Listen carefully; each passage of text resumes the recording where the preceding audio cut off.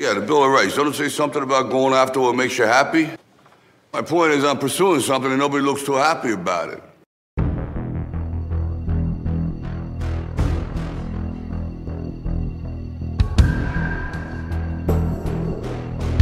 can't take me. Yeah!